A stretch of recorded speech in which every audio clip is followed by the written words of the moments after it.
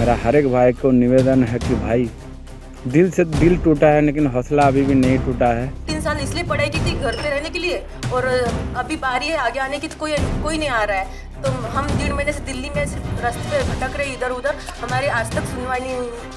जय हिंद। मेरा S S C G D दो हज़ार अठारह के प्यारे मेरा भाई एंड बहन को मेरा एक ही गुजारिश है कि हम लोग इतना दिन से जो प्रयास कर रहा है उसका अभी तक कुछ सुनाई नहीं दे रहा ये सरकार हम लोग को, युवा को सड़क पर ला दिया। जब हम लोग नौकरी के बारे में बोलते, सरकार तो सुनते नहीं। जब हम लोग परमिशन के लिए दिल्ली में जाते तो एक ही गुजारिश दिल्ली पुलिस के कि यहाँ पर अब बिना परमिशन के रहने वाला तो है नहीं। आप लोग को प्रोटेस्ट नहीं किया जाएगा, नहीं दिया जाएगा। और मैं बंगाल से हूँ अभी इलेक्शन चल रहा, देख रहा कि ऐसा है कि पूरा क्या बताना सही लग गया है। और इलेक्शन का तौर चल रहा तो ऐसा हुआ कि अपना अपना परिवार से लड़ाई लग रहा है, ये हिंदू मुस्लिम करके। लेकिन देश कैसे आगे बढ़ेगा, उसके बारे में तो कुछ नहीं बोल रहा। बेरोजगारी के बारे में तो नहीं बोल रहा, स्वास्थ्य के लिए नहीं बोल रहा है। अपना देश को कैसे आगे लेके जाके अपना देश का नाम रोशन कर, करना कैसा है, वो भी नहीं बोल रहा। हम मेरा सेंट्रल गवर्नमेंट से यही गुजारिश है, जो S S C G D दो हज़ार अठारह से अभी तक इतना लंबी इंतज़ार करने के बाद भी उसको ज्वाइनिंग नहीं दिया गया। गलती तो आप लोग का है, गलती तो एस एस सी का है, कि तीन साल, चार साल से एक लंबा प्रोसेस कराता है। नोटिफिकेशन में जो नहीं रहता, उसको भी नोटिफिकेशन में नया नया इशू लाते हैं। वही हम बोल रहा कि अभी आज जो होली का त्यौहार है, मेरा भाई सड़क पर पड़ा हुआ है। मेरा वेस्ट बंगाल का, तेलंगाना, महाराष्ट्र, उड़ीसा, बिहार का भी है यूपी का भी है। मेरा हर एक भाई को निवेदन है कि भाई, दिल से दिल टूटा है, लेकिन हौसला अभी भी नहीं टूटा है। हम लोग तब तक लड़ाई करेंगे जब तक हम लोग का ज्वाइनिंग नहीं दिया जाएगा। क्योंकि अभी ऐसा मोमेंट आ गया कि मेरा घर घर में भी थोड़ा परेशानी हो गया, मेरा घर में भी दिक्कत आ गया। एक लौता बेटा घर में है तो जिम्मेवारी है, इसलिए फ़ोन कॉल आया तो हमको वेस्ट बंगाल आना पड़ा। लेकिन हम वेस्ट बंगाल से कह रहा कि लड़ाई अभी भी जारी है। मैं अभी मेरा ग्राउंड में आया है, अपना भारत माँ की मिट्टी के आके यहीं पर देख रहा कि इतना मेहनत करने के बाद भी अभी ज्वाइनिंग नहीं मिला। तो अभी वेस्ट बंगाल से इलेक्शन चल रहा, हम जाएगा। कलकत्ता में जाएगा। सब मंत्री, जाना पड़े तो अमित शाह का सामने भी जाना पड़े तो जाएगा। क्योंकि हम लोग का जो इशू है मुद्दा, संसद में जो उठाया गया, जो हम लोग का कांग्रेस का, जो भी है पॉलिटिक्स, जो किया उसके हमको निवेदन है, उससे दिल से प्रणाम है कि हम लोग का एस एस के बारे में आप बात उठाया। और इतना लंबी इंतज़ार के बाद भी हम लोग को ज्वाइनिंग नहीं दिया। अभी होली का त्यौहार चल रहा है। किसी का ज्वाइनिंग आ गया, वो तो अपना अपना ड्यूटी टाइम मतलब जो ज्वाइनिंग का जहाँ है, वहीं पर होली का त्यौहार मना रहा। जो जो घर लौट के आ गया, वो तो अपना फैमिली का था तो होली मना रहा। लेकिन जो भाई मेरा दिल्ली पर, सड़क पर पड़ा है, उसको बारे में भी थोड़ा सोचना चाहिए। आप लोग जो जो घर में बैठा है प्लीज़ रिक्वेस्ट करके निवेदन है कि आप लोग दिल्ली आइए।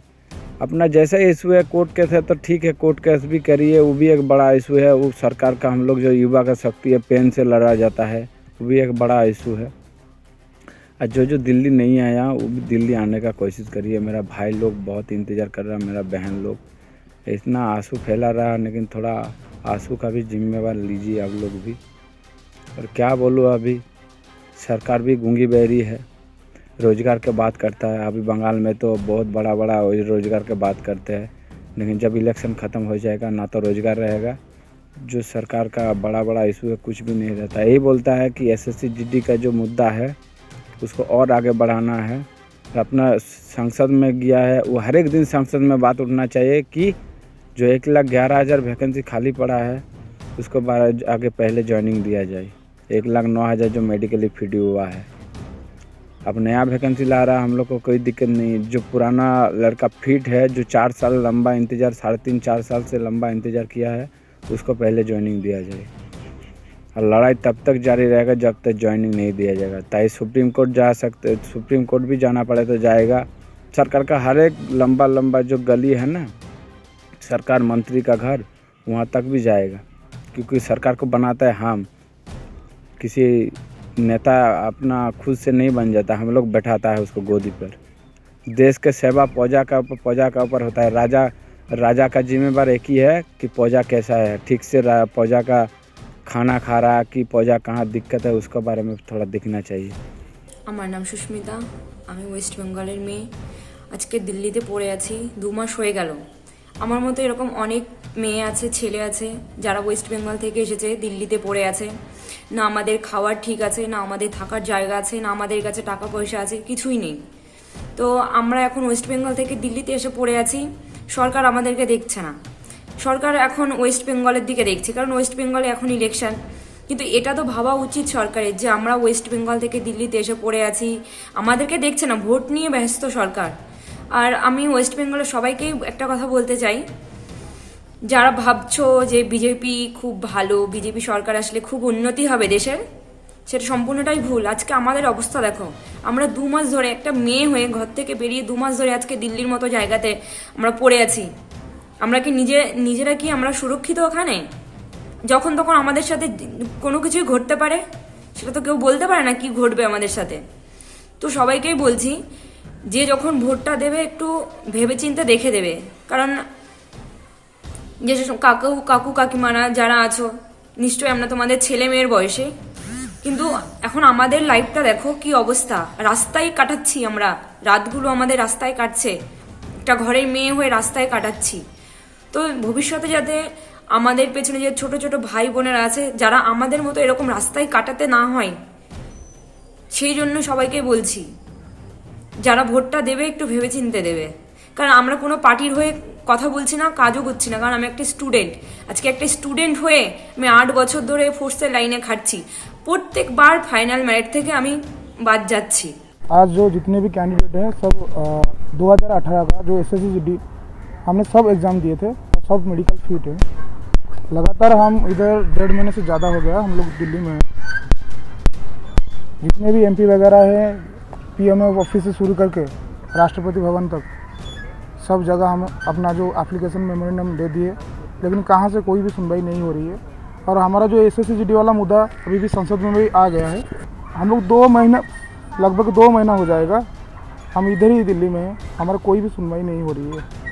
इधर उधर रोड में भटक रहे हैं हम लोग। कोई भी सुनवाई नहीं हो रही है कि लेकिन फिर भी हम लोग अंदर से टूट गए हैं लेकिन हमारा जो हौसला है ना हाँ, इतना जल्दी टूटने वाला नहीं है। जब तक हमको ज्वाइनिंग नहीं मिलती है हम लोग दिल्ली में हैं और लगातार इस तरह प्रोटेस्ट जारी रहेगा। और जब तक ज्वाइनिंग नहीं मिलती है, हम लोग यहाँ से नहीं जाते। पांगी बगड़कर मेरा नाम है। मैं एस एस की कैंडिडेट हूँ, पर तीन साल जो मेहनत की हमने, पहले फिजिक पहले रिटर्न एग्ज़ाम पास की, फिर फ़िज़िकल किया, फिर मेडिकल किया, उसके बावजूद हमारा लिस्ट में नाम नहीं है, क्योंकि दो हज़ार अठारह में इसकी फॉर्म फिलअप किया और साठ हज़ार दो सौ दस इसकी जगह निकली थी, उसमें से सिर्फ़ चौवन हज़ार को लिया गया है, बाकी को बाहर कर दिया तो हम सरकार से यही पूछना चाहते हैं कि हमने डेढ़ महीने से यहाँ दिल्ली में है प्रोटेस्ट के लिए हमने सब जगह मेमोरेंडम दिया है बीजेपी ऑफ़िस कांग्रेस ऑफ़िस सभी जगह पे पर हमें निराशा के अलावा कुछ मिला नहीं है अभी तक। और संसद में हम संजय सिंह से भी बात की कि संसद में हमारा मुद्दा उठा है तो हम संसद में मुद्दा उठाया भी गया है क्योंकि गुजरात के शक्ति सिंह जी ने उठाया है तो हम चाहते कि उनका रिप्लाई अभी तक नहीं मिला है कि क्या है इसका उत्तर कि हमने इतनी मेहनत करने के बाद भी हम रास, रास्ते पे आ गए डेढ़ महीने से दिल्ली में है और जो घर पे उनसे हम यही कहना चाहते हैं कि आप तीन तीन साल इसलिए पढ़ाई की थी घर पे रहने के लिए और अ, अभी बारी है आगे आने की तो कोई कोई नहीं आ रहा है। तो हम डेढ़ महीने से दिल्ली में सिर्फ़ रास्ते पे भटक रहे इधर उधर हमारी आज तक सुनवाई नहीं सुनवाई नहीं हुई। हम सरकार से यही चाहते हैं कि वो हमारी मदद करे और हमें ज्वाइनिंग मिल जाए।